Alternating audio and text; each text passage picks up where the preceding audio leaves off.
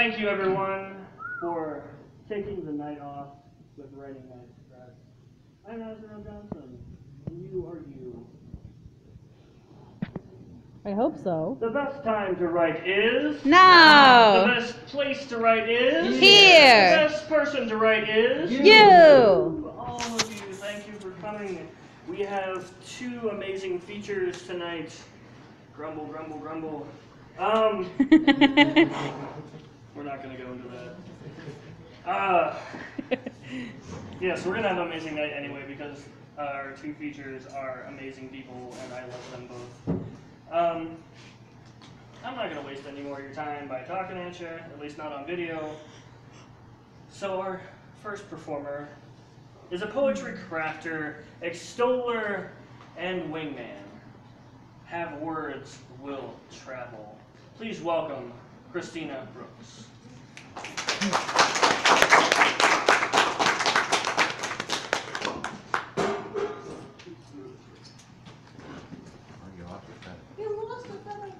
I probably did.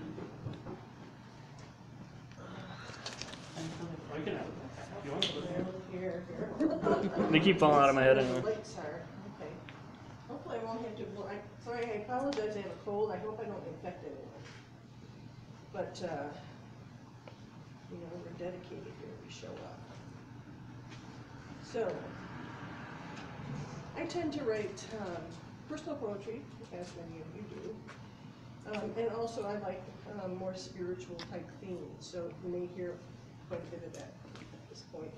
Um, I, I tend to be sort of gravitating sort of toward Taoism, Buddhism, sort of ish. Um, and so that kind of pops up in things I share. So you're Buddhist.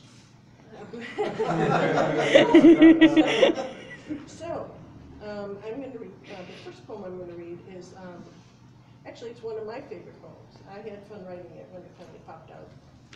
Um, and it's titled The Inner Alchemy of Fish. Um, I wrote it after um, a friend that actually used to have poetry readings here in Canton. He was um, disabled, so he had them at his home and had us come and, and, and share with him in his living room. And he loved to fish. He'd go down the pond at the end of the condo thing and, and try to fish. And, and when he passed away from cancer, I had wanted to write something for him, and I couldn't. But eventually, this arrived. So, the Inner Alchemy of Fish. Fishermen will tell you that to know a fish, you have to think like one. A river becomes a kind of religion, and the fish are the wise ones. To think like a fish, you have to know the water in which the fish swims. You must learn to think wet thoughts, learn to distinguish the taste of reeds and the depth of a turtle diving by night. Be able to tell the change of seasons by the smell of the river. So in the morning come, make simple offerings of fireflies and river foam upon altars of fallen trees and tangled reeds. Learn to wear your shaman's cloak. Dance the sacred dance along the tops of boulders in dappled light. Become invisible. Do your daily puja along the riverbank. Breathe in and out. Take in the morning light and fog that clings along the river's bed. And like the heron, stand stock still and listen. And as a partridge hiding in the underbrush, seek refuge in this sacred place. In time, you will become familiar with the sutras of the eddies, the unwavering power and message of the undertone, and the gentle gospels of the shallows. You will learn the patience of a sandbar, where the current meets inertia, becomes strong, and unwavering like a ford, where resistance breaks the raging water into harmless pools of froth and foam. The muezzin call of the osprey will call you again and again to prayer. The river will teach you the esoteric mysteries of fish, and the fish in turn will teach you how to swim in the sacredness of water. Teach you its inner alchemy to transform a raging heart into a peaceful backwater. It will teach you the nature of momentum and the epistles of impermanence, not just by observation, but by nature's sheer force. You'll be taught that the river at any moment can take you and sweep you off your feet. And in your rough baptism of humility and respect, you will learn the basic truth of water and life's fluid simplicity. Like the doe on the riverbank, You bow in reverence to its glory. Drink the teachings the river has to offer, and understand the never flowing, ever flowing, the never ending flow of everything. Thank you.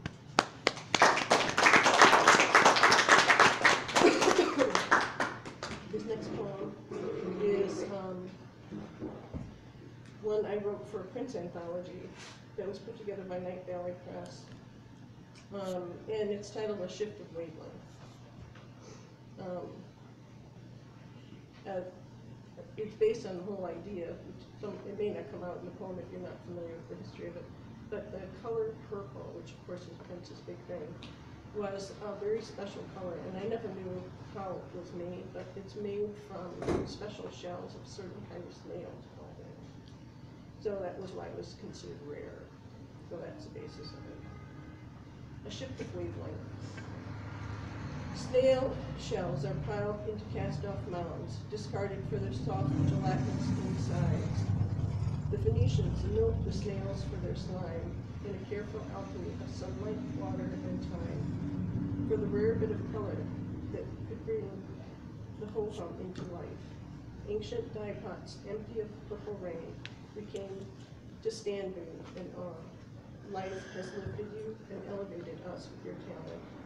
The way you transfix us, oh purple prince, transcending into ultraviolet.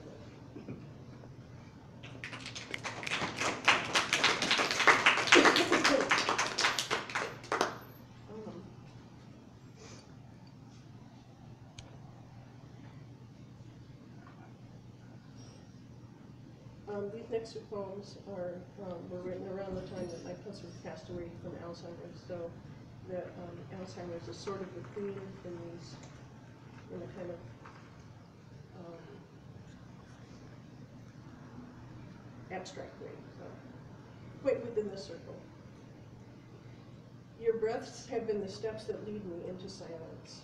Drawn into the hypnotic rhythm, I begin spinning around the quiet axis that you've become. Breath becomes a point within the circle around which we are all revolving. I keep up with your pace. The world goes on around us oblivious as we stake out this sacred ground. Breathing harder, you reach for the setting sun, and spreading heavy wings you fly. Um, The next poem is called Dra- Dragon Roar, Dragon's Roar. Um, and this is based on, um, a basic Buddhist teaching that I had run across that, that used that description of the dragon's roar. roar. A lot of times they also refer to it as the lion's roar, but.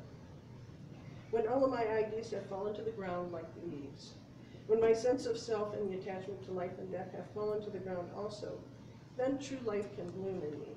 My breath, my dust come together in the life of a tree. I am oak, I am birch. Once the idea of me withers, a single dragon's roar of existence will be heard.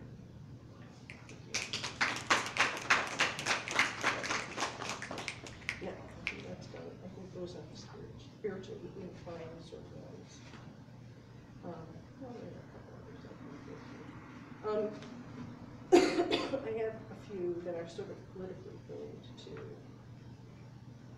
One of them is mildly humorous, the others are a little bit more serious, but, um, the, Vladimir Putin and Trump, of course, obviously are, uh, were our topic of discussion for quite some many months last year particularly. Um, not as much now, but, um, this poem came out of that. It's titled If Vladimir Putin Wrote Poetry. I want to imagine that Putin is a romantic and that he writes poetry like anyone. That he dresses stereotypically in suit with a ruffled collar like the Atlantic. I like to imagine him would be fluent in Greek and perhaps conversational in French. And I want to think he is a bad hero. But all, he likes to deal with silk that for all his erudition, he likes to still seduce the ladies with cheesy pickup lines. I wonder if he loves to play with alliteration or whether he prefers traditional lines. Is he a fan of Bukowski, Dickinson, or Wilde, or is Rumi, Basho and to Tagore more his style? I want to take his rough, tough guy routine as bluster because he doesn't want people to know he really loves to write senryu. That was my attempt at trying to cope with all the crazy political stuff that we have to subject ourselves to. Um, This next poem is titled Truth, and it was actually written a couple of years ago when uh, one of the, um, I think she's a PBS reporter that was killed in um, Syria, um, covering the the war in Iraq and Syria. Maria Colvin, Um, and it's titled Truth. Truth is inscribed by a line in the sand and ringed by an armor of distrust, lost behind closed doors and hushed up in boardrooms and stockholder meetings. Truth is lost in the margins of endless debate, pleaded and bargained away in backrooms, stifled in meaningless congressional committees, sold off to the highest bidder, outsourced to the government by Halliburton. Truth is the chant of protest in the waving picket sign, the unarmed student pepper sprayed in the street, a beaten Iraq war veteran killed by riot police. It is young, it is the young, the old, the poor, the disadvantaged. Truth is often jailed for being subversive. Truth is marked off by the soft footfalls of soldiers running along Syrian back alleys at dawn, heard in the nearby shelling of towns, echoed in staccato of rebel gunfire. Truth is blindfolded, drawn, quartered, hogtied, and shot in the head at close range. It is worn close to the chest, and then remotely detonated, a roadside bomb. More and more, it is anonymous. Truth is a young refugee boy left to starve on the roadside in Ethiopia. Is a nameless mother in Syria, maimed by shrapnel. An eight-year-old Somali girl gang raped by government soldiers. Truth is a Tibetan monk who lights himself ablaze, fighting for his religious freedom, a Chinese dissident in prison the crime of writing poetry. The Chilean author bulldozing poems into the desert sand. Truth is often veiled in overreaching morality, accused of being dangerous, prostituted to corporate interests, sodomized into submission by the powerful, and then quietly hidden from view. For all it has been through, truth still lives. It is fought over daily and often misunderstood. It is colorblind and gender neutral, does not care who you love or who you marry, how much money you make or where you live. It is said to be self-evident, but is it?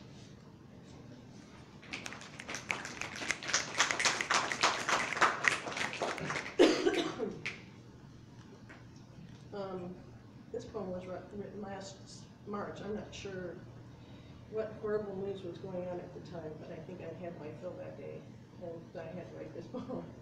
and it's titled Remind Me Again That the World is Good. This morning my soul is shaking and I want the world to slow down, to keep it from spinning because it's out of control. When divisions are great and political rhetoric is rising, when hatred is growing and the sea levels are climbing, when bombs are exploding and glass shatters and the world is going mad. When mankind is losing its fucking mind, hell-bent on its own destruction. When the human heart appears to be blind and broken, and I feel powerless. I step out of my door, and the earth begins to speak. The trees quickly rebuke me. The wind always has something meaningful to say. The sycamore has a clear way of explaining things. Blue jay calls out and reminds me that the world is sane. Woodpecker drums, reminding me that the world is sacred. Purple finch sings out with all his heart, reminding me that the world is still good.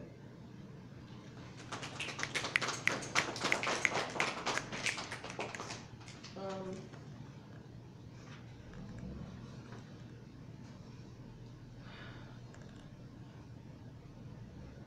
I think one of you have heard this poem too, but I think the rest of you haven't. Um, this, um, one of my, um, somebody I knew fairly well committed suicide last month in, um, well, in August.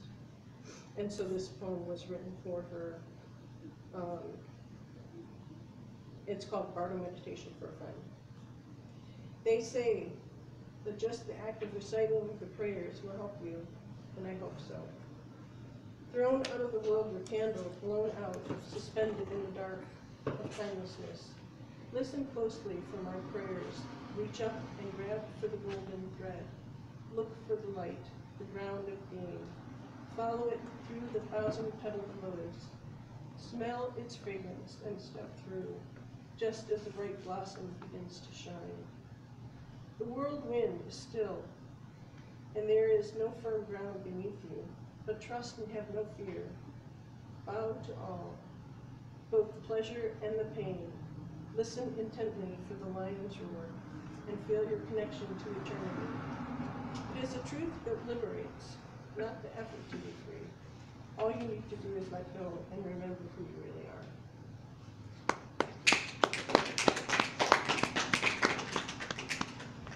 These are going a lot faster than I thought. All right.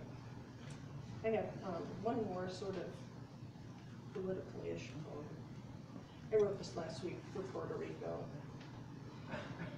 because it pissed me off. So, and actually, I wrote it for Puerto Rico, but really, it's is actually very applicable to global warming in general.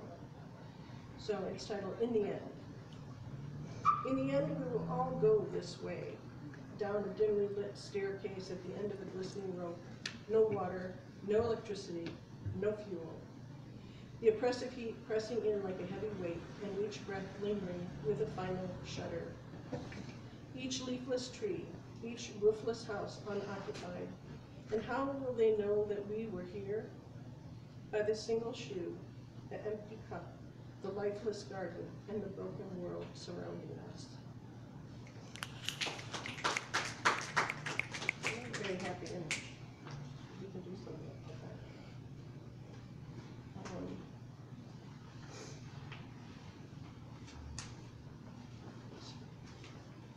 These are, uh, this really at poems a little bit more personal. Um, About a personal relationship I had, and also one that I have not read, I don't think publicly, that I'd written about my mother after she passed away. Um, So, I'm, I'm grouping these sort of as a loose clump. Anyway, um, this one is titled After Image. Um, Your warm scent lingers in the house a full day after you've gone. Now living on my own, I'd forgotten that men have a peculiar and unique aroma.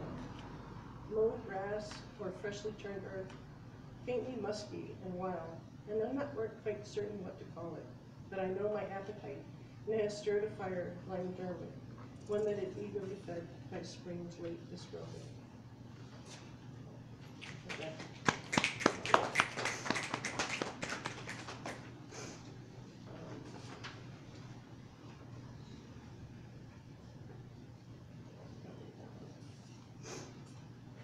Um, and of course, when relationships don't work out. We are looking for freedom. I stepped through the opening and twisted myself to fit the objections and squeezed myself into that too tight little black dress that I called compromise. An altered state, uh, I mean, an altered state, a snug fit of reality that didn't fit the expectations that you had. So it slips to the floor now, a soft heap of faded hopes. I step over on the way out the door to freedom.